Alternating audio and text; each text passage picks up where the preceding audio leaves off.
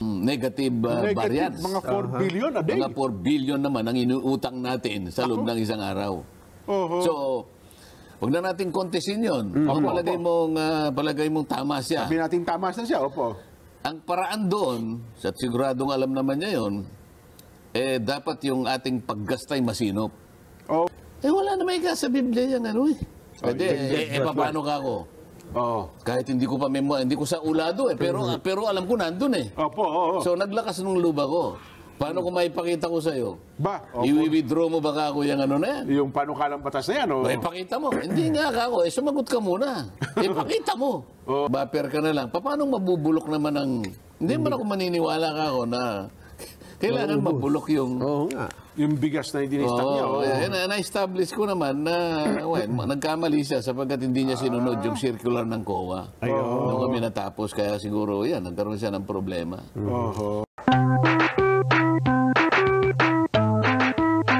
Social media, ang ah, debate ninyo ni Kong Edsel Lagman, mukhang ah, nabuhay yung ano ah, ah, debate ninyong dalawa ni Kong Edsel. Bagamat ako, again, na Kong ha, pinagpapauna ko sa ating mga kabayan. Kayo po, dalawa, personal, nakita ko mismo, eh magkaibigan kayo ni Kong Edsel eh, di ba?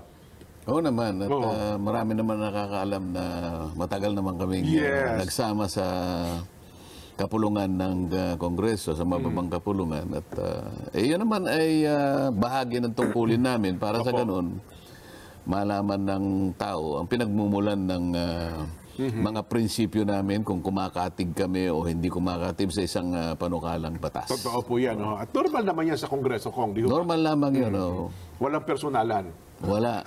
Malay ba na lang kung may personal yung iba. Ayun. yung amoy, yun pong ano, yun pong nakikinig ang iba ng personal eh. Pero sa inyong sila, dalawa, yung, mukhang... sila yung medyo talagang uh, masigasig at Opo. mainit. Oh. Oo, ang pinag-awayan niyo po eh, yung panukala na, ano ba absolute divorce bill. Kong. Siya kasi nagsusulong ng diborsyo. Ah, opo. So, sa umpisa pa lang, sinabi ko, uh, Kong Edsel, naalala ko na isa ako sa naging mapalad mong kaibigan nung ikaw ay mag-celebrate ng iyong golden wedding anniversary. Ah, opo. At nakita ko doon ka ako kung paano i-describe yung ah, katatagan at tagumpay na inani ng inyong pagsasama bilang mag-asawa. Opo. oh. At yan ay narinig ko pa mula sa labi ng isa sa mga siguro kamag-anak mong malapit malapit 'yon na we do not we do not need a fantasy sabi niya to describe Ah. the marriage of uh, Kong Edsel. Aha. At saka yung kanyang asawa ng pangalan niya Cielo, ano? Aba, opo. oh. So sabi ko, bakit ikaw pa? Sana iba na lang ka ako ang nagsulong. Eh, Pero itong usapan niyo kung wala pa doon sa plenaryo. Hindi, sa plenaryo sa nga. plenaryo pa, Eh, opo. yun ang aking simula. eh. Okay, okay, opo. Eh, Hindi ko napanood yun. oh. Eh, medyo nagtaka lang ako. Isa ka sa isang, ah, kung, kung, kung baga eh, di-describe ko, isa kang mabuting halimbawa Oho. sa katatagan ng isang ah, pagsasama Ng mag-asawa. dalawang mag-asawa. Yes. Bakit ikaw pa? sana, ni, sana si Nelson na lang. Wala ba congressman si Nelson? Eh, de, sabi niya, ganito kaya, ganito yan. Eh, hindi, yung kasing sinusulong ko, hindi naman pang lahat ng pamilya. Oho. Abay, eh, te- teka muna ka ako. Hindi po pwede yan. Opo. Pangkaraniwan ang batas, pagka si iyan ay ginawa mo, pang lahat yan. Pag lahat yan, siyempre. Hindi ka ako po pwedeng gagawa ka ng batas na pinipili ka lang na isang sektor o Hindi kaya pwedeng mga, mga selective, ilan. Hindi ka pwedeng selective. Otherwise, magiging ano yan, magiging class legislation Yes. na pinagbabawal sa saligang batas. Hindi nagkaanuhan doon. Ano? Aha. Hanggang sa dumating kami sa pu- punto na, at saka alam mo, kako, eh, sa Biblia nakasulat eh, ang, ah, ang Panginoong Diyos ay namumuhi kako sa diborsyo. Ah, opo. At eh, binasa ko yung talata. Ngayon ka ako, na narinig mo ka ako itong ah, mismong salita ka ako ng Diyos na siya'y namumuhi dito sa divorce. Eh sino ba naman tayong mga taong nilalang lamang niya? Tayo pang magsusulong ng isang bagay na kanyang kinamumuhian. Yun, kinagagalit eh. Tama kayo. Oo, eh, di ba? Ah, ito, kung ano-ano ang pangangatwiran. Katapos, isa pa ka ako. Pag nakaharap ka ako yung dalawang ikakasal, eh, di ba palaging nagaganap yung mga Panunumpa, mga, magkabilang mga panig. panunumpa Opo. no? oo. sa sa kagalingan at kalusugan, Yan. di ba? For better or worse, Yes, di ba? opo. Ah, sa ginhawa at kahirapan. Till death do us part. Hanggang sa paghiwalayin tayo ng kamatayan. Oo, till death do us part. At, eh, till death do us part na yan, hindi naman biblical yan. Ah, Eh, alam mo, hindi naman ako maalam sa Biblia, Jen, Nelson. Ngunit, sa kakadalo ko sa mga, pagtitipon. nagiging sponsor ako ng, Ah, ano, ng kasal, opo. ng kasal. Eh po, ah, parang No, siyempre, kabisado ko na yung mga binabasang mga talata na ang Opo. pagkakasal, eh hindi ka pwedeng humiwalay dyan ng ganun-ganun lang. ah, siyempre po, oh. Kaya nagkakaroon talaga ng bisa yung kasabihan na hindi kaning Isusubo. isusubo yan na kapag ikaw ay napaso. Iluluwa. Iluluwa mo yan. Oh, sabi ko kung Edsel, eh, pagka, eh bakit pagka gano'n naman eh, konting problema lang, hindi ba ka ako, ba't, ba't di ka na lang gumanap ng isang tungkulin na magpayo ka sapagkat ikaw, Ayan. nakagraduate ka sa isang napakaganda ka akong universidad ng pagsasama Yun na nga po. na ikaw ay gagamitin mong exhibit 1 ang iyong ah, ang iyong ah, kasal kay kay ah, Kay Ma'am Cielo. Yes, opo. Eh wala na may ka sa Biblia yan ano eh. Pwede, eh, eh, paano ka ako? Oh. Kahit hindi ko pa memo, hindi ko sa ulado eh, pero ah, pero alam ko nandun eh. Opo, oo. So naglakas ng luba ko. Paano ko maipakita ko sa iyo? ba, opo. I-withdraw mo ba ka ako yung ano na yan? yung panukalang batas na yan, oh. Eh, pakita mo. hindi nga ka ako. Eh, sumagot ka muna. Eh, pakita mo. Oo. Ano? Eh, hindi ko sa ulado. Ah, sabi ko, Mr. Speaker, pwede ba niyo akong bigyan ng ah, konting panahon sapagkat nandun ka ako dun sa planner ko eh. Opo. Tatawagin ko lang sana yung driver ko na dali niya rito yung planner Walang ko. Eh, wala signal. pong internet dito. Wala pong signal eh. Mm-mm. O sabi niya, sabi naman, sige, eh, akala ko naman, eh, eh na, ka- kagad naibigay yung ano. O di, binasa ko yung talata. Ayun. Eh ngayon, sabi, hindi, eh, wala namang nakalagay dyan na till death do us part. Oho. Eh, hindi ko na pinurso yun. Kaibigan ko yan dyan eh. Eh, siyempre, oh. Bahala, alam naman ng taong bayan kung sino yung Nagsasabi ng tama. kung sino yung ah, may punto doon. Yes. At hindi ko naman kailangang ipaliwanag pa. Alam na natin kung sino yung... At parang iipitin niyo pa. O, si Kong kapag, Edsel. Opo. pag iipitin ko naman eh, eh, parang inipit ko yung kaibigan ko. Hindi ko Yes. naman gagawin yun. Opo. Sabi nga nila, let us be magnanimous in victory. Yes, opo. Di ba? Tama, tama. Well, ako naman, sabi yung nga sa ating mga kababayan, magtataka ka rin naman bisa dyan sa Kongreso, Nelson, ano? Kung sino pa yung grupo ng kababaihan sa pinagtataguyod naturang paano ka na? Eh, sana naman ang itaguyod nila yung pagpapatibay ng Pamilya. pagkasamahan ng mag-asawa. Oo, oo, Di ba? Sinabi ng mag-asawa. may, meron na ka akong annulment, meron na ka akong legal separation. Eh di kanya, mahal kanya itong ganito eh. Eh ba't yung iba naman ka akong nagtyaga na gumastos? eh ba't naman yan, bibigyan mo na naman ng special, uh, na di ba? pagtuon, Eh ito, bibigyan mo ka ako ng pass lane. Eh paano yung mga nagsigasta na? Opo. Hindi ba? O, ito nga kako, mali na itong legal separation. Kasi sinabi nga ng Diyos, lahat ng pinagsama ng Diyos, hindi pwedeng papaghiwalain ng tao. Yes. Naglagay na nga kayo ng legal separation, naglagay pa kayo ng annulment. Hmm. Ayaw nga ng Diyos ito eh. Ay, maglalagay ka pa ng pangatlo. Meron pa Aba eh, bahala kayo dyan kung talagang, Oo. ha? Baka tapaan na kinakidlat yan. Ayaw ng ating mga taga-subaybay at ah, pinanagutan nila na yung survey ay ah, tama lang. Tama, tama. Ay, at hindi naman po pwedeng magsabi ng uh, kasinungalingan yung survey natin dyan. Totoo. Eh, Totohanan tayo rito, hindi ba? Direkta sila sumasagot sa ating Vox Populi. Ayan. Nelson, napakaganda ng mga jacket ninyo. At ah, palagay ko, eh, isa kayo sa mga halimbawa Opo. ng mga Pilipinong ah, ang pagsisilbi ay hindi lamang para takpan ang sarili niyong katawan, Yes. Kung hindi pagtakpan ang lahat ng problemang ah, dapat sana. Sinasalungan na. Oh. Nakatago sa loob ng jacket. Ay, nako. Kayong dalawa lang ang nagsasabi na hindi tayo pinagsasawaan. Ay, hindi to. Tu- Totoong totoo po yan, Kong. Eh kung totoo yan ay ah, ako'y masaya. Ayun. Oh. Ay, pero matakin Magandang nyo. ah, hapon po ng ah, biyernes sa inyo at sana'y maligaya po kayong ah, nakakapanood ng ating uh, palatuntunan. Aha. At saka yung bagong uh, TikTok account nyo po, batiin sila, Kong, yung mga followers sa, sa TikTok. yan. Ah, yung TikTok po ay ah, yan po ay proyekto ng aking anak Aba. na hanggang ngayon po ay hindi ko maintindihan kung ano. Congratulations, Partis. Eh, marami na kayo mga ano ngayon, social media accounts ko na. Kailangan natin sa panahon yan. Kahit minsan hindi natin naintindihan. Pero nandun yung pangangailangan na well, kayo po, personally, eh, dapat eh, meron din ganyan kung ano. Kung makakatulong ba para sa ganun ay yung pinahayag natin at saka yung mga layunin natin ay ah, makaabot sa maraming tao.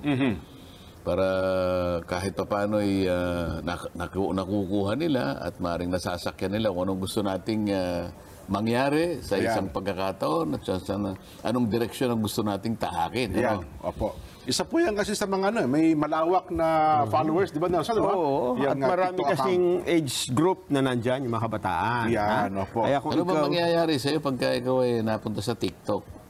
Well, again, ah, sabi nga ni Nelson Kong, eh, ang mga teenagers, mga Gen Z, tapos yung... Eh, ah, teenager lang pala yan. Eh, Sino, sino maniniwala sa atin eh? Teenager pala yung... ah, Oo. Pero isa po yan sa pinaka mabilis na mag-spread ng mga information, lalo sa inyo kong na source po ng maraming impormasyon saka maraming balita. Ganun po yon Kong. Ano, ha? Ah, isa nga sa napansin nila dyan, nakita ba? Eh, kayo ho pala'y merong ah, laksa-laksang gulayan, Kong. eh, Laksa-laksa kasi po di ba kung minsan ay palagi kong binibida sa inyo na ako'y Opo. galing sa ganito, ako'y mahilig magtanim. Kasi baka sa likod ng kanilang ah, kaisipan, ah, ba, baka binobola lang tayo ni Kong. Mm-hmm. Baka naman sinasabi niya lang para sa ganun ay ma-inspire tayo pero sa totoo baka hindi naman niya ginagawa. Oo nga po, baka social media account lang. So, no? gusto kong ipakita talaga na yung sinasabi ko ay ginagawa ko.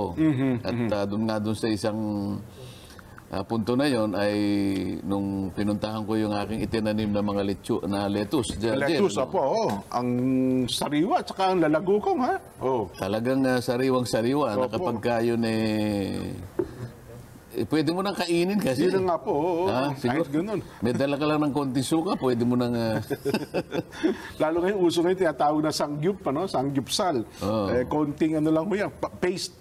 Pwede nang ah, pinapangus na po yan, ganyan. Na.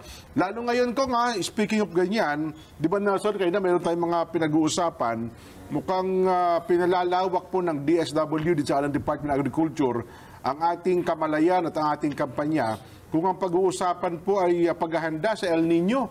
Isa po yan ko nga sa pinagtutunan ng pasin. Ngayon daw niya, ngayon pa lamang, eh dapat eh, napaghahandaan na po natin ng worst case ng sina- na senaryo ng uh, El Nino phenomenon. Dapat lang dyan. Dahil sa, alam mo naman, kapag hindi tayo naghanda, ay siyempre ang masasangkot naman dyan ay yung ah, pagkain Opo. ng ah, ating bansa. Di ba? So yung paghanda dyan ay kinakailangan eh, matutukan kung halimbawa kung gaano yung extent ng problema na yan. Siguro Opo. yung kahandaan ay nandun dun sa mga paraan kung paanong kahit na masalanta halimbawa, maapektuhan ng ating mga pananim. Eh meron tayong ah, paniguro o kaya eh meron tayong buffer na Opo. Pwede nating ah, pagsandigan kung sakasakaling lumala o, o tumagal man lang yung El Nino. Yan. eh, kagaya po nito, Kong, uh, Jen, dito sa Occidental Mindoro, Nako. dinedeklara na po nila, eh, nire-recommend din nila na ideklara na ang provincial uh, state of calamity province-wide. Opo. Dahil sa epekto ng El Nino, hindi lang yung mismong tagtuyot, kundi itong umaataking peste na kung tawagin po ay army worms. Harabas, tawag nila, no? Dahil ho So sa... nagtandem pa yung uh, Yes po. armyworms at saka yung ah, El Nino. El Nino. Oo. Opo. Eh, mga sibuyas ho, ang tinitira ng mga ito, kaya madaming nasirang mga ah, sibuyas doon. Kong. Naku. Hindi maganda yung naging ah, ani nila. Oho. At mababa ang presyo dahil maliliit. Hindi lumalaki. Ah. Ayun pala. oh. Ito. Yeah, kasi kapag uh, inatake ka nga naman ng mga peste, hindi lalaki yan. Itong mga bumibili kasi, sasabihin nila puro reject. Reject Ay, ko. Yun yan. Oo. Kapag ka yan, ay napunta dun sa quality na reject. Opo. Abay, sasabihin nila, bay, teka muna, eh, mababa na yung kuha ko sa'yo. Pati Kasi yung hindi ko naman may bebenta sapagkat yung, yung quality na hinahanap ng mga mamimili, eh, ganito yung laki. Opo. Eh, tingnan mo kanya itong sample.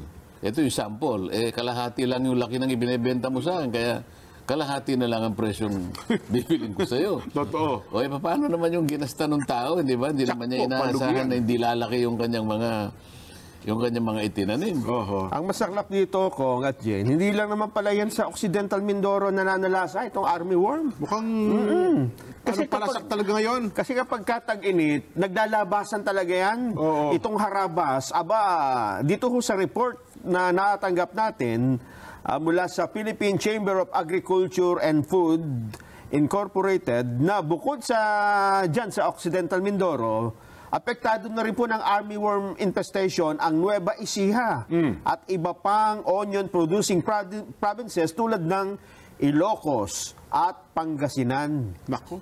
Problema. Oo, problema po ito. Problema malaki. yan. Ang uh, Nueva Ecija at saka Mindoro, halos parehas ang kanilang ah, tinatanim dyan. Opo. Ah, palay at saka yung sibuyas na yan. Ngayon, kung babangon yung mga army ng ah, mga peste na yan, mahirap yan. Mahirap na problema yan. Nako. Ah, ito ang sumalubong ngayon ko nga na problema kay ah, BA Secretary Kiko Laurel, Francisco Laurel. Mukhang ah, tapos eh, meron pa siyang problema sa NFA officials na apakarami po pala ng mga official dyan, mga sinuspindi. Ah, ang alam ko kung mag-iimbestiga kayo dyan, ano? Ang ah, Kamara del Representante doon sa na eh. Oo nga pala, nung na. nakaraang linggo, nakita ko na. Hindi ko oo. lang alam kung naitigil lahat kasi yung karamihan ng Mm-hmm. ah, pag-hearing dyan dahil nga binigyan nga ng priority yung ah, RBH 7. RB87 na kung Opo. saan ay nilalayo ng pagsususog ng mga economic provisions ng ating saligang batas. Opo. Ayan, so hindi natin alam kung ah, kailan ang mga susunod na pagtalakay dyan dyan. Mhm. Pero parang kahapon ay meron ng 22 out of ah, 132 na mga empleyado ng NFA ay naibalik na po yung 22 kung ano. ha. Pero mukhang ah, magtutuloy pa rin, pa rin po ang investigasyon. At ang malungkot pa, Nelson, di ba? Nung sa araw nire-report natin, yung bagong tinalaga, OIC, ay meron din pa ng Sinama rin. suspension order. Oo, no ombudsman Oho. kasi nakita na ka, kasama siya dun sa um, Oho. mm, mm, dapat na ma, ma So, sino ngayon ang OIC? Wala na. Mukhang ah, inako O muna ni- magtatalaga pa lang. Wala pa po, mukhang inako ulit nga no, ni Secretary Laurel bilang ah, DA Secretary. Siya din po ata ngayon ang ah, NFA Administrator. Ano? Sabi siguro ni Secretary, Opo. bakit ko... Ba't ko ba tinanggap-tanggap yun? Para ko nang nakikinikinita, no? Oho. Ah, bakit ba ako napunta rito? Hindi ba? Oho. Nak. Pero sabi ko nga sa kanya, nung uh, siya ay ah, ihirangin pa lang, Opo. Aba eh, huwag kang masisiraan na loob. Ah, opo. Kung itinalaga mo ang sarili mo kako para magsilbi ka sa bayan at alam ko naman, may kakayahan ka naman, eh, pero italaga mo yung dibdib mo, hindi lang kakayahan dito. Oho. Pati dibdib sapagkat ah, hindi, hindi mo alam kako kung ah, ilang pang problema ang sasalungain mo rito. Mindoro. Opo. Ang pupuntahan ko talaga Mamburao eh. Ah, oo, yung kapitolyo Pero dahil ayaw kong sumakay ng Roro, Oo. alam ko kasi matagal. Opo. Sumakay ako ng eroplano papuntang San Jose. Lalo Ah, ako okay. napalayo pala. so, Oo. sabi ko naman, sige okay lang para makita ko naman yung countryside. Ayun, opo. So, pinasundo ako ng aking ah, kaibigan na congresswoman, si Juliet Cortuna. Opo. Malayo-layo pala yung San Jose. Kung manggagaling ka sa San Jose, babalik ka ng ng Mamburao. Opo. Kumbaga yung San Jose, norte. South pala yung Mamburao, ano? Oho. Pero ang kaganda, nakita ko na meron silang irigasyon. Ah, maganda Nakikita ko irrigation maganda yung irrigation. Kasi yung Oo. irrigation, nasa tabi ng kalsada. Opo. Talagang mahaba, consistent. Kaya, ko- kaya ko ki- kinukwento, eh, eh, yun meron silang irrigation pero tinamaan pa rin sila ng, ah, Ng El Niño. Paano yung mga lugar, ah, kat- kamukha ng barangay namin, Nakpo sa Tarlac, opo. walang, walang umaabot na irrigation doon. Kahit Hmm. isang metro ng ah, patubig, wala kang makikita doon. Opo. Kaya nakikita ko yung ah, dobleng problema siguro doon sa mga lugar na una best wala kang irigasyon. Oho. Kaninang ini-imbe- ini- ini-interview nyo si Mayor, nakita sa mga footages yung isang uh, uh, Magsasaka, nakayok-ayok. Opo, nako. Hindi mo nakayok-ayok, nakayuko, pero parang umiiyak. Lalo akong nalungkot eh, kaya gusto ko sana magtanong sa kanya, pero hindi ko na nakuha magtanong sapagkat Opo. baka magkaiyakan pa tayo rito. Nako. Itatanong ko kasi sana, ah, ganun ba yung ah, nakikita niyang kalagayan ng mga magsasaka ngayon? Oho. Na lalong-lalo na yung naapektuhan ng kanilang mga pananim. Totoo po, no? Yun, napansin ko rin kayo na kung talagang ah, nasa gitna ng kanyang buko rin, tapos yung nakayuko, no? Yung uh, magsasaka. Pero yung nakayuko na yun, Jen, ay sa Rizal Nueva Ecija. Ah, hindi yun doon sa San Jose. Hindi pala doon? Hindi, oh, Nagkahalo lang yung Eh, mga sino ba picture. itong nagbibigay ng picture habang nag-interview ko? Eh, ba? Na meron kasi eh, mabuti army, pala hindi ako nakapagtanong. may army worm din kasi doon sa uh, Nueva Ecija. sa Rizal, oh, Nueva Ecija. Nak Nagkataon lang na naisama na doon. Ayun. Pero sa kabila ng lahat ng yan ko, baka sabi ng ating mga kababayan, ako, yun yung pinag-uusapan yun, lalo kami nasisipayo eh.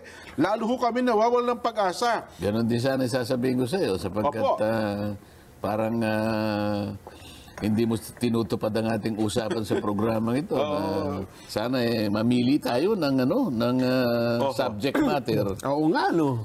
Na kahit papano eh makakapagpasigla tayo sa ating mga kababayan. Weekend pa Ay, naman, payday pa naman dyan. Eh. Ano ba naman yung mga topic na napipili mo? Eh, ito na nga. Tinatalakay natin Maganda pa dito kung... eh, army ng mga peste. Eto, mas- Kasi yung kanya, di ba, tumaas yung, uh, yung tubig, eh, nagkaroon ng lahar. Dumaan sa kanya yung daloy ng tubig, eh, nagkaroon ng natural Pinapunta river. sa akin talaga eh. Oh. Ganun ba? Dapat lang ma-harness yun, eh, Nelson, no? Hindi ko lang napupuntahan. Oo. Pinapunta sa akin, hindi ko napupuntahan. Ang kulang na lang doon, puhunan, eh? Oo, tama, puhunan. Ay, nako. anyway, Kong, ano, ha, natutuwa lang tayo at isang mabuting halimbawa po itong pinakita nyo sa ating mga kababayan. Ano, ha? Para sumaya naman. Ang, Opo, kasi nga, opo. biyernes ngayon at kailangan ma-inspire natin ang uh, mga kababayan natin. Hindi lang yung uh, dadana tayong dada rito. Yung sinasabi natin, kailangan maipakita natin na kaya rin natin gawin. Yan. Pag ngayon ha, ano, Nelson at Kong, may share ko lang pala, napakapangkaraniwan ngayon sa social media, yung mga layer egg, Kong. Ah, yung manok na nangingitlog, na parang in one month, ano ha, at ang puhunan doon sa kanila mga cages, mga 20 to 30,000 lang, hanggang kasama na po yung mga manok in 50,000 siguro. At pagkatapos, araw-araw na nangingitlog. Mukhang maganda rin po pag-aralan siguro ng ating mga kababayan, Kong. No? No, lahat ng Potential uh, po yan. lahat ng ano, lahat ng po pwedeng pagkakitaan Oho. ay kinakailangan ating uh, subukan. Mm-hmm. Yun lang ang paraan para makita natin yung talagang uh, magagandang pwedeng pagsimula ng ikabubuhay. Mm-hmm. Maaring uh, kamali ka sa umpisa. Ay, opo. Pero try and kang, try. huwag kang, uh, huwag kang ihinto. Huwag kang masisiraan ng loob. Oho. Ha? Mag-ano ka uli, mag-venture ka uli. Oho. Pasasambat eh, kikita ka rin. Mahihit mo din. Eh, in, iwanan mo na yung pagbababoy. Mukhang wala tayong pag-asa sa pagbaboy. Jen, yung mga sisiw, yung mga manok na binili ko, Oo. may sisiw na. Baka dyan tayo. Oh, ako naman gusto ko yung layer. Marami ako nakita ngayon sa social media eh, nag-introduce. Anyway, ako sa, sa tingin ko lang ngayon, Kong, ha, mukhang maganda kasi meron tayong uh, kakakumpirma lang na finance secretary. Mukhang ah, yung kanyang statement, to, siya'y kinumpirma ninyo, eh, mukhang ano ba, mukhang ah, viable po ito, mga feasible. Mukhang magaganda yung ah, ipinahayag niya, Kong, bago siya makumpirma. Ano yung narinig mo? Ang sabi niya ay yung mga yung budget natin at saka yung mga, mga mapaglalaanan na pondo, yung malalaking ah, yung mga big projects daw po ng ating pamahalaan kong pati da, pa, naglagay din siya ng mga tao niya ngayon sa National Treasury. Mukhang, aywan ko lang. Ah, again, ah, ito ho naman ang kanyang ah, naging pahayag. At dumaan ho ito sa confirmation ng Commission on Appointments ko Oo, sa na- linggo. nakikinig ako. Ako pa nga yung tumayong majority leader dahil wala si Kong eh, El Rey. Opo. Kaya lang hindi na ako nakapagtanong sapagkat uh, ako'y ah, nakatali dun sa aming ah, tradisyon Aha. na kapag ka ang isang opisyal na ikukonfirma ay galing sa amin, Opo, that, deputy speaker yan eh. eh, yung tradisyon na wag nang magtanong, Mm-hmm. eh, pinangatawanan ko yun. Napasa ilalim ako doon. Ayun. Eh, baka naman sabihin nila, eh, ah, ito namang si Kong Dante, Lagi kayong magiging kontrabida. pati, pati tradisyon isisirain na. Eh, pumayag na ako. Pero Ayan. ang isa sa narinig ko sa kanya, yung yung sinamarize niya, tayo pala sa isang araw, sa isang araw din, gumagas na tayo ng 15.8 billion pesos. Ang buong bansa po? Ang buong bansa. Ah, ganun. Malaki pala. no? Yung, ah, yun namang koleksyon natin sa loob ng isang araw, Opo. 11.7 billion. Ah, kulang. Sa makatwid, meron tayong negative, uh, Negative, variance. mga 4 billion a day. Mga 4 billion naman ang inuutang natin sa loob ng isang araw. Oho. So, wag na natin kontesin yun. Mm. Kung palagay mong, ah, palagay mong tama siya. Sabi natin tama na siya, opo. Ang paraan doon, at siguradong alam naman niya yun, eh, dapat yung ating paggastay masinop. Okay, opo. Ibig sabihin, kung ang gasta natin ay 15.8 billion, yung sanang paggasta na yun, merong katapat na na produksyon Oo. na yung ating ekonomiya ay talagang talagang Mm. lalaki, lalago talaga. Opo, opo. oo. Kasi pag lumago ang economy din, siyempre yung, yung buwis, yung taxes, Opo. Biglang lalaki ngayon yung i- invest na 11.7 o ano malay mo, unti-unti naging 13.2 halimbawa. Ba, oho. Magiging magiging ah, konti na ngayon yung pagitan ng paggasta at saka yung Mm, kita. ah, at saka yung kita Opo. sa mga tweed yung yung uutangin mo kailangan mabawasan natin. Mm-hmm. Sabi naman niya, wag po kayong masyadong matatakot kahit na apat na bilyon kada araw ang ating ang Deficit. ating deficit. Opo. Sapagkat nakita ko naman na yung pong 70% ng ating pagkakautang Opo. ay utang din natin sa ating sarili. Ibig sabihin domestic. Ah, okay. Ah, pero ganun pa man, eh, kailangan bantayan din sapagkat ang pinag-uusapan natin dito, yung tinatawag na ratio, yung debt, Debt to ratio. GDP ratio. Yan, opo. Na kailangan ay wag sanang, ano, wag sanang ah, tumaas pa Oho. higit sa 60%. Oh. Ayan. Pero doon sa part siguro, hindi hindi kaya ba yan ko kung pagandahin natin yung koleksyon ng BIR, koleksyon ng I- isa pa yun. customs. Oh. Maging efficient tayo kasi Opo. may, may kaugnayan yung efficiency ng election sa corruption eh. Ah, okay. Kapag ka yung, yung efficiency, yung sinabi ko kanina, let us grow our economy. Opo. Tapatan mo pa yan ng isang efficient na pangungulekta ng buwis. Ibig sabihin yan ay kapag efficient, medyo nababawasan mo yung corruption, di ba? Ah, opo, opo. Magtatandim yung dalawa na yan. So, imbes na 11 11.7 ang average mo, Oho. umabot ka ng 13.5, o eh, malapit-lapit na yung, Ah. yung paggasta. Ang ideally, siyempre, dapat mataas ang kita mo Opo. kesa sa kesa sa gasta mo. Oho. Di ba? Yung, yung, yung mga accountant, eh, tinatawag lang naman yan, yung acid test ratio yan, eh, di ba? Ah, okay, opo. Ibig sabihin, kung kumpanya ni Nelson, kumikita ng dalawang piso isang araw, Opo. may utang siyang piso, ay malakas ang loob niya sapagat meron siyang pantapat doon sa inutang niya. May Kaya, kita pa siya. Pero kung ang kumpanya mo, limang piso ang utang mo, ang kinikita mo dalawang piso, mag-isip-isip ka na siguro, baka magsara ka na, hindi ba? Kasi baka mamaya lalaki yung utang mo lalo eh. Patong ng Lalo ka ngayong mahihirapan. Oho. Ayan. Narinig ko pa po yung kanyang ano ko, nga, mukhang pinamamadali niya yung full digitalization ng ating gobyerno. Mukhang yun daw po isa sa mga magandang proyekto at malilesen din po yung corruption, Kong. Tama naman kasi kapag ka, kapag ka digital talaga, eh makikita mo yung mga bakas ng ano, eh, hindi, hindi mo pwedeng burahin ng ano, eh, tsaka yung less human contact, hindi ba? Opo, opo. Direkto. Ah, direktang ah, napupunta sa magagawa talaga yun kapag ka full digitalization. Oho. Bagay yun din ang pinupush ng Pangulo. Eh. Aywan ko nga lang ba, bakit sa ibang ahensya ng pamahalaan parang nagdadalawang isip sila na i-digitalize yung kanilang ahensya eh. Di ba? Ah, eh, yun namang ah, alumpihit na i-digital, eh, yung, yung talagang ayaw na maging efficient. Yun na nga, oo. Sapagkat tinitingnan nila yung, uh, teka muna, kapag kaya, kaya eh, dinigitize mo, Ang dako, oh. eh, pa- paano naman yung, paano naman yan ganito? Eh, Yun na ganun nga, eh. oo. Ang biro nga nila sa mga ganyang klaseng opisina, eh. mabuti pa kay kasi Jen. Kunyari, taga Opo, ka, opo, Jen. opo. Si Nelson din. Buti pa si Jen tsaka si Nelson eh. Mm. May sweldo na, may sahod pa. Di ba? Opo. So, yung sweldo mo, iniisip mo pa yung sahod mo. Ay, siyempre, oo. O, eh, kaya ayaw nilang i-digitize. Ayan. Pero kapag ka tayo napunta na sa pinapunto talaga na kailangan-kailangan ng gawin lahat yan, eh, isa katuparan lahat yan, Nako. doon pa lang makikita mo na giginhawa yung ating ano, yung efficiency ng ating bureaucracy dyan. Pati yung pagbabayad daw po ng buwis ko, ano? Kasi kung ito daw ay online, wala po Wala yung na yung mga yun. kompro- compromise na yan. Oh, Nako, mas madali daw pala yun. Eh, lalapit yung uh, isa sa'yo, o ah, Mr. Jen, ganyan sa'yo, Ako, oh, Mr. yan. Nelson. Oho. Eh, may paraan naman tayo para ano yan, eh, ayusin natin yung problema mo. Eh. babayaran Oo, yan, eh, oo. Magkano ba ikang gusto mong bayaran? Yan. Nako. O, di sabi ni Nelson, eh, pwede ba ikang, ito na lang ang bayaran ko? Opo.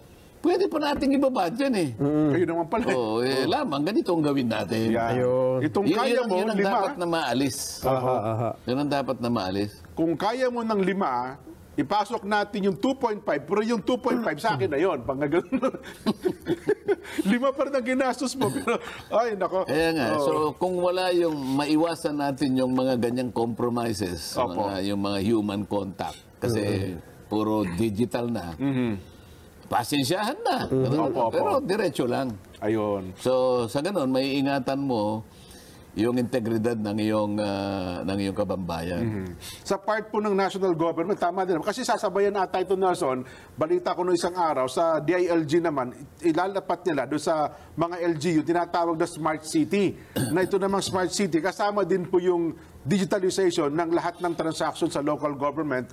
Eh, sa National Treasury din pala ang pasok ito kung, ano, kung halimbawa maganda ang koleksyon ng ah, IRA at ng mga businesses sa local government units. Pero kailangan na Hmm. ma- talagang maging episyente sa lahat ng antas ng ano pamahalaan, mapa Opo. LGU, mapa lahat ng ano, lahat ng ahensya ng gobyerno. Mm-hmm.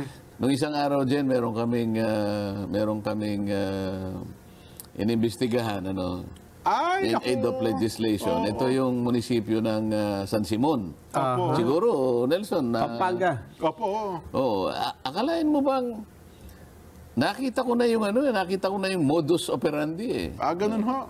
na kunwari, palilitawin nila na certified urgent yung resolution. Alam mo kung ano lang gusto nilang gawin? Opo. I-reclassify nila yung Lupa. yung lupa, isang sukat ng lupa na kanilang uh, napunteriya. Opo. Halimbawa, pangkaraniwan na para ma-reclassify mo yung lupa na yun from agriculture to industrial or commercial, Aha. May, may pangkaraniwan ng labindalawang requirements ang, uh, ang kinakailangan mong uh, i- i- isa, isumite. Aha. Oho. Ha? Pinakama, pinakamahalaga dyan yung certification na manggagaling sa DENR, sa DAR at saka sa DA. Ah, Tapos okay. may, may ilan pa na kung bibilangin mo ay halos labindalawang requirements. Okay. Oo. Documentary requirements. Opo. ha? Lumilitaw doon sa isang na, na nabungkal namin, sinabi na certified agent pero walang certification ng mayor. Sila-sila lang pala ang nagsabi Sa konseho. o sinertify ni mayor yan. Oo. oo. Ngayon, nagkikindatan lang pala silang gano'n. Pero kapag tinignan mo yung record, pag tinanong mo, wala yung Walang- certificate. O, pagkatapos wala pa yung requirements. Nako. O, ngayon pala, ibebenta yung lupa Ah, pinapa... para mas mahal yung... Yung ah, oh, value. Mm-mm. ang daming ang dami mong ah, makikita na ito deliberate na paggawa nila no. Palagay mo yung ah, San Simon, San Simon na Pampanga. Pampanga, opo. Fourth class municipality ito, Jeff. Opo, mahirap fourth na class lang. municipality. Sa ngayon sa batas, pagka fourth class ka lang, meron kang ceiling eh. Meron kang limit sa pagko-convert mo, pag-reclassify mo ng ano, ng ah, kalupaan ng iyong munisipyo. 10% lang. Ah, okay. So ipagpalagay mo yung munisipyo ng ah, San Simon, 4,300 hectares. Ah, okay. Opo. Magkano yung 10%, Nelson. Nasa 400 lang. 430. Opo. Pero manakita ko, ha, initially nakita ko, 700 hectares na yung kanilang doble na-reclassify. na. Doble Oo, na sa mabigay? 20% na yun. So nadoble na. Opo. Di ba? Eh, yan, kaya yan ang aming tutuntunin sa... Marami pa, napakarami. Hindi, pin- nagkakaroon daw po ng bahid ng legalidad kong kasi dinadaan nila sa konseho eh. Di ba? Kaya parang pagkatingin mo, ay, may, may nagkikin- resolution pa rin eh, naman pala. nagkikindatan nga sila eh. Ang, ang kailangan dito, siguro, merong an, uh, anmyendang dapat gawin sa local government code Opo. na yung ah, sangguniang panlalawigan ay hindi lang ministerial ang kanilang gawain. Opo. Oh. Kahit na dumaan sa kanila, kahit na dumaan sa sangguniang bayan, meron ka pa rin ah, responsibilidad na busisiin mo Ayan, opo. Kung talagang yung mga requirements ay Na, talagang nasunod talaga, no? nasunod. oh. Ah, bakit tamang-tama siguro, at least eh, tayo yung minomonitor naman ng ah, Department of Interior and Local Government, DILG Secretary Benhar Abalos, kung eh baka makatawag ng pasin. Mukhang tama nga naman yun, no? Kasi, teka lang, naalala ko, ito bang mayor ng San Simon, ay kamag-anak ng mayor ng Mexico? Mukhang parehas ang apelyido, no?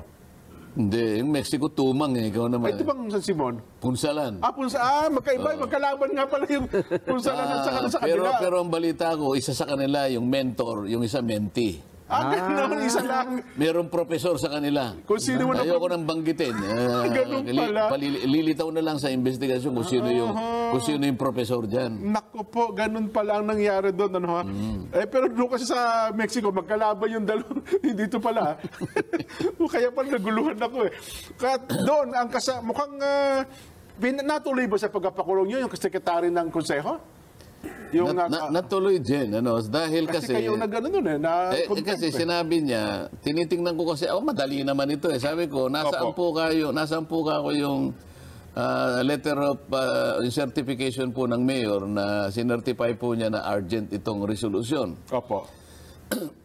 Wala po eh, sabi niya. Ano, oh. Eh, di, teka muna ka ako. Tingnan mo ka ako itong, ito, sarili nyo ka akong agenda Opo, ito. opo. Ah, ito, babasahin ko sa'yo. Certified urgent from the office of the mayor. Oo. Ang ibig sabihin nito ka ako, talagang merong certification na talagang ibinigay ang mayor. Opo. Ah, hindi po eh, kanya. ah, sa practice po namin, eh, Verbal pala yun, ano? kindatan lang po eh. Ayun. O, eh, ba't mo nilagay? Di sana nil- nilagay mo rito, certified urgent, kinindatan po ako. Through Ah, blink of an eye. Pa- para ka ako hindi misleading, para malinaw tayo. Maintindihan namin kung gano'n. Yun, oh. Pagkatapos, sa loob ng isang araw pa rin, ah, nagawa nyo yung minutes, nandun pa rin yung certified urgent Oho. from the from the office of the mayor.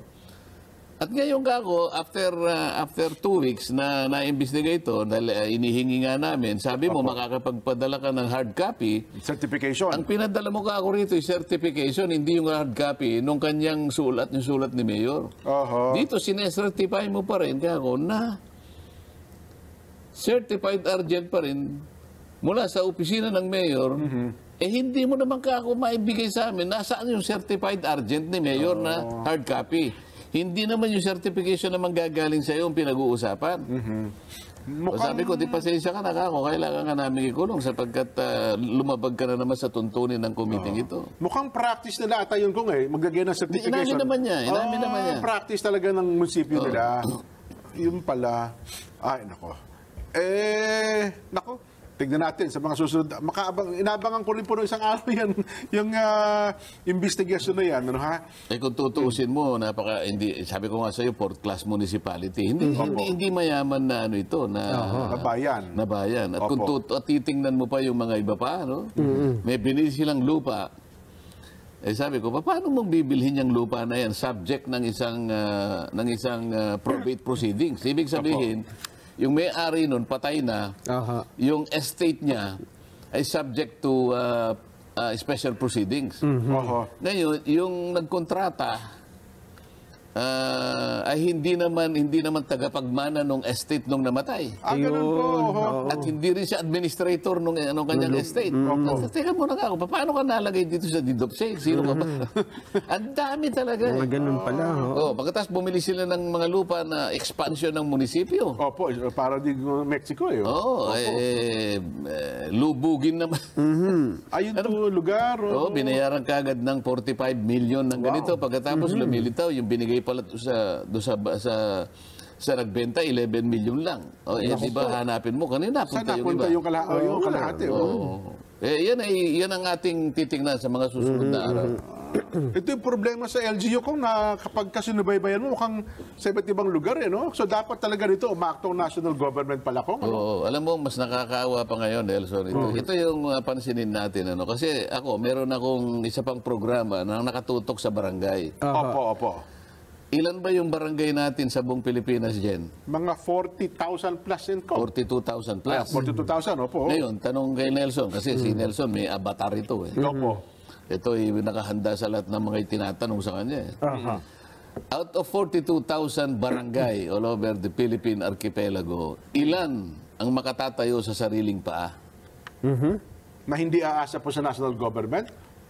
Oo, yung mga gano'n, no? Yung, yung mga iba kasing barangay, kahit... uh, Ah, kahit halimbawa, yung malayaman. halimbawa, yung barangay Forbes Park. Ayun, Yan, yun, opo. yun. aha. San Antonio, sa Makati. barangay barangay ah, ah, ba- ano yung tawag dito? Ah, Araneta Center. Ayan, opo.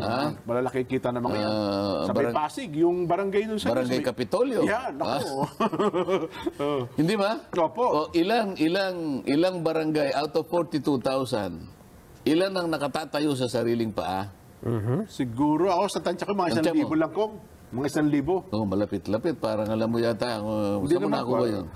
Kasi ang estimate namin, out of 42,000 barangay, Opo. halos 2% lang. Ay, mantakin mo nga, oh. Ibig sabihin, 800 lang.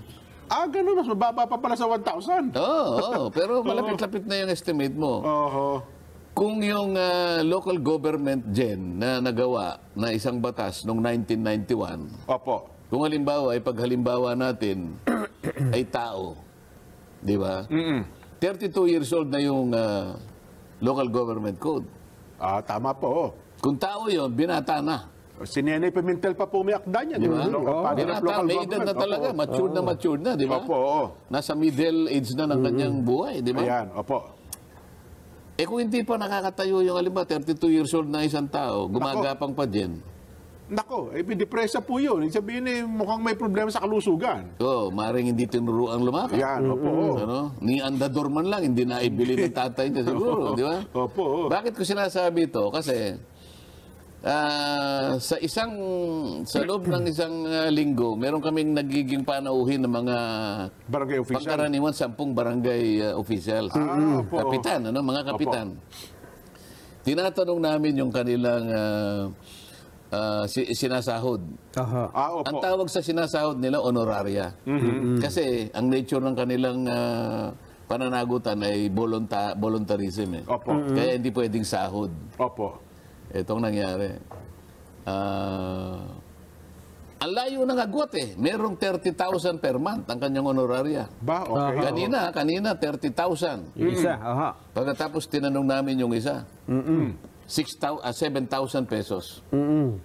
So, Ah, oh, malaki yung pagitan So, talaga. iso, iso, itong barangay na to, kapitan na to, ang tinatanggap niya ay halos 30,000. ikatlong bahagi lang ng tinatanggap ng isa. Dahil sa ira lang ang kanilang basihan. Oho. Ngayon, eh, kaya nga sabi ko, palagi ko sinasabi sa kanila, meron po akong panukalang batas na pili, ipilit nating, pilit nating ilaban ito. Pagtulong-tulungan po natin, ito po yung makakabuti sa inyong ah, barangay. Para ma-address po natin yung, yung masyadong pagkakalayo-layo nung ah, tinatanggap po yung honoraria Oo. sapagkat yun nakabase sa inyong mga ira. Opo. Ayan. Ah, nabanggit nyo kasi kanina, yung suspension doon sa mga pisales ng ah, ah, National Food Authority, mukhang a- ano ba talaga? Kasi dito marami nagtatanong ano ba talaga trabaho nitong NFA na ito? Ito ba talaga eh, pwede na mag-import ng bigas ba talaga yan? Ano ba talaga bibili lang ba sila? At pagkatapos yung mabibili ba nila sino ba talaga makikinabang ng binibiling bigas o buffer stock na kinukuha ng NFA kong Hindi, kasi nagbago yung mandato ng NFA dyan. Ah, So, na- opo, opo. Ah, wala na yung kanilang market intervention na tinatawag. Ah, purely na lang, pagkatapos na magkaroon ng tarification law, Opo. ang kanilang pinaka-responsibilidad, mag-buffer stock lang. Ah, okay. Ngayon, ah, sangayon sa batas kasi, ay 15 to 30 days ang buffer. Apo. So yun pong ideal, 15, at least one month. Hindi, yun, ang- hindi ko sinasabing yun ang idea. Yun Yun, ang sinasabi ng batas kasi. Ah, okay. Opo. Maaring nagkamali yung batas kasi sinasabi 15, Parang, parang kulang. 15 to 30 days. Opo, opo. Ah, pero kapag ka pinanagutan mo yan, yung buffer stock na siyempre may kukwentahin mo yan, ilan ba yung Pilipinong kumakain ng bigas? Opo. Alisin mo yung hindi kumakain ng bigas, puro kasaba ang kinakain at Kasaba, saka yung mais. mais. Ayan, oo. At iba, sinusibuyas na lang ang kinakain siguro. o kaya Opo. kinakain lang ng isa, pandesal lang. Yan, oh, no rice. eh, So, oh. pag na-determine mo yan, ah, edi, malalaman mo ngayon kung ilan dapat mong i-stock yan. Sabihin yan ang pananagutan mo eh. Ngayon, kapag inano mo yung maximum na 30 days, aba, eh, depende sa umiiral na, di ba? Kasi meron kang buying price eh. Daily po yan. price, aha. Eh ako, estimate ko dapat ah, hindi ka bababa sa siguro mga 90 billion ang, pra- ang ano mo, Ang pambili mo. ang pambili mo. Ngayon, kung bibigyan ka lamang halimbawa 10 billion, Eh, hindi mo makukuha pati yung 15 days, baka one week lang ang ano mo. Yun nga po. Ah, okay. Oo, ngayon, ah, yung budget mo problema. Ngayon, ang buffer mo, ah, responsibility mo ay ah, 15 to 30 days. Palagay ko hindi niya makukuha yun. Kaya ang sinasabi nila, kami po under the tarification law, sabi niya, buffer stacking na lang kami. Ah, kami po okay. yung pantutok, kami po yung first responder sa mga kalamidad. Yes. Opo. Eh ngayon ka, kung yung budget mo ay ganito na lang at buffer ka na lang, paano mabubulok naman ang... Hindi man ako maniniwala ka ako na kailangan mabulok yung... Oo nga. Yung bigas na idinistock niya. Oo, oh. eh, na- na-establish ko naman na well, ma- nagkamali siya sapagkat hindi niya sinunod yung circular ng COA. Nung kami natapos, kaya siguro yan, nagkaroon siya ng problema. Oho. Ang latest pala dyan, Kong, Jen, ah, inutos na ni Ombudsman Samuel Martires na ibalik yung 23 NFA warehouse employees. O, Yung mga maliliit na empleyado yan. Oo, oh. kasi nakipag-cooperate sila. At nagbigay sila ng tuntunin dokumento. na kapag yung mga, yung mga nasa baba na mga empleyado, Opo. ay sumunod lamang sa inutos nung ah, nasa taas. Wala naman silang ibang choice. Opo. Eh, hindi sila hindi sila dapat na maparusahan ng ganun. Ah, okay. Wala naman silang choice kundi sumunod, di ba? Totoo po. Hindi naman sila yung uh, nagdesisyon diyan. Ang nagdesisyon yung nasa taas sina at pinilit niya na sa kanyang sarili lamang ay hindi naman na-delegate sa kanya yung uh, pagdidesisyon na kinakailangang ibenta niya sa traders. At siya rin ang nagsabi na ah, nabubulok na. Eh, ang nagdidetermine naman, meron naman silang laboratorio. Yun Opo. po. Ah, kaya alam ko marami ring ah, paglabag. Mm.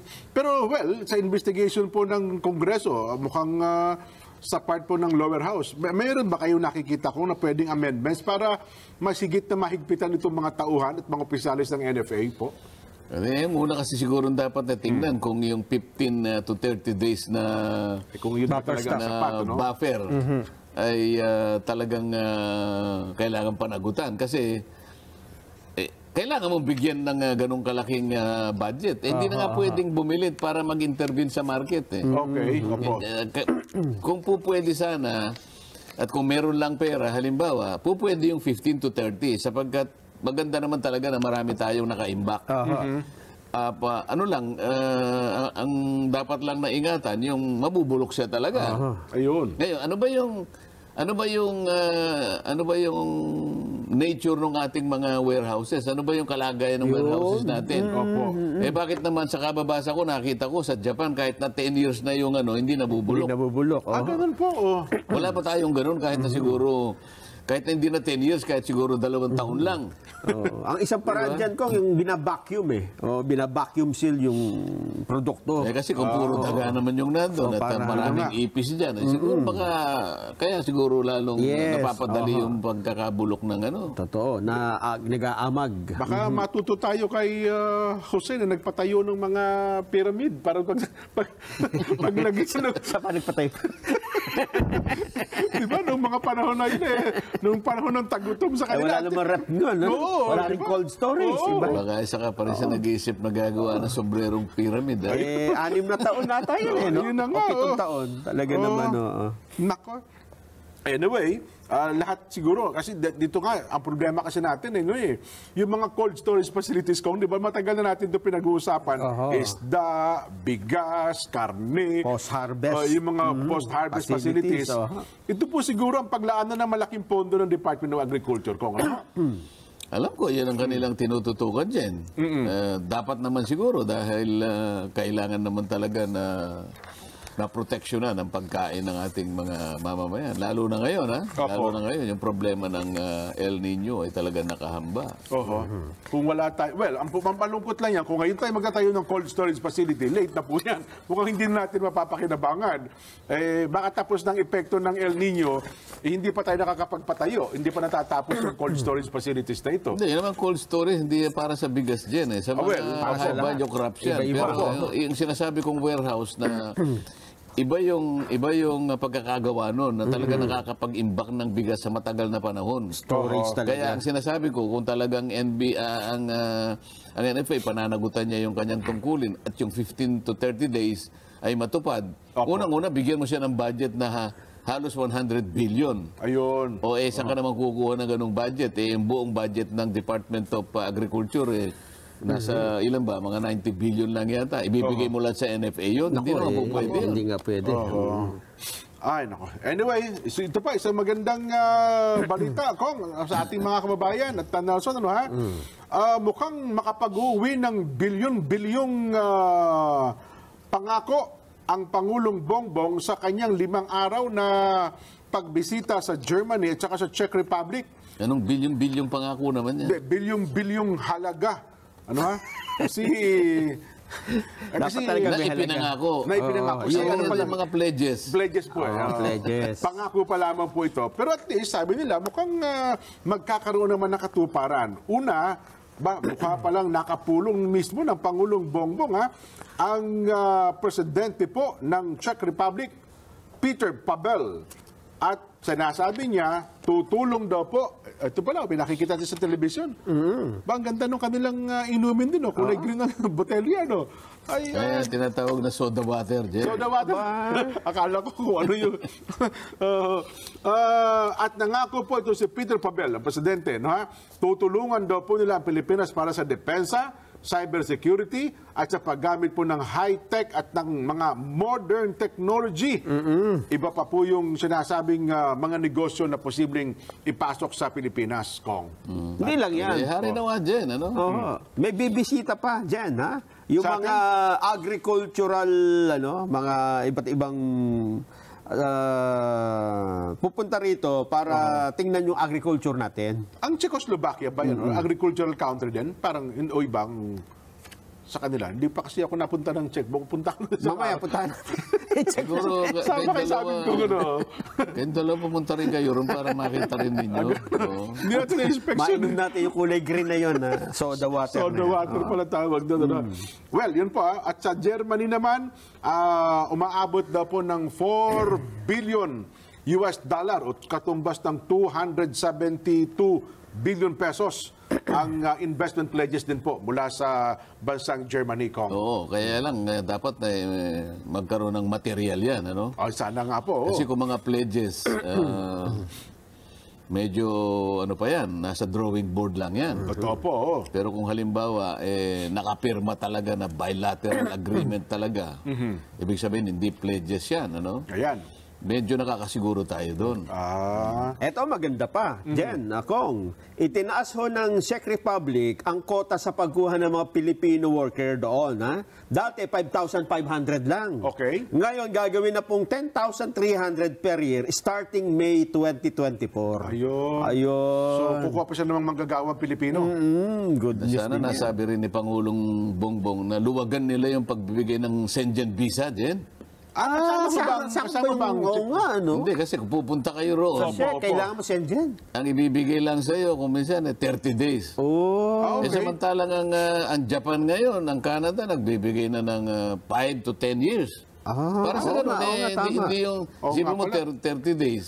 Opo. Eh, nagamit mo lang eh, 7 days. sa isang- Oh, mawawala na yun. Mag, Ah, ganun. mag-a-apply ka na naman. Eh. Napaka-raming requirements din Ah, nila. ganon, oh. Ay, Japan, yun pala, pwede ka pala single, pero multiple na 5 years, pwede rin pala dyan. Pwede, uh, kahit na kahit na 5 years lang, okay na yun. Pwede na, oo nga, oo nga. Eh, well, at saka yung Germany, mukhang naghahanap din sila ng maraming nurses na Pilipino. Naso, ano, ha? Mukhang yan po ang demand ngayon. Pero ako sa kabilang banda, pag pinikit mo yung mga mata, eh mabigat pa rin sa kalooban natin na ang mamamayan natin ang pangunahing kalakal ng ating bansa. Kung ano?